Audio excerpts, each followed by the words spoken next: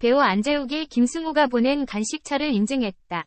안재욱은 지난 6일 샵 드라마 샵 DRAMA 샵 남남 샵 SUPPORT 샵 김승우 샵 형님의 샵 간식차 샵 감사합니다. 하트 샵 사랑합니다. 하트 하트 하트라는 글과 함께 여러 장의 사진을 게재했다.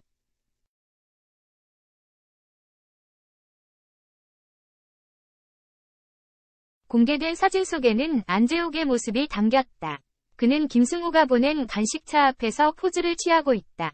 김승우는 현재 드라마 남남 촬영 중인 안재욱을 위해 간식차를 샀다.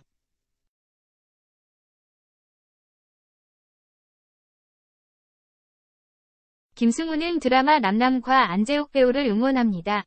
안재욱 배우가 쏘는 커피 맛있게 드세요. 커피 마시지 않으면 남남이라는 응원 메시지를 전했다.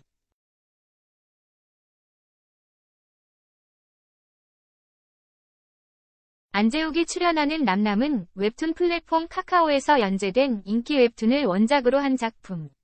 대책 없는 엄마와 쿨하고 화끈한 딸의 남남 같은 동거 이야기다.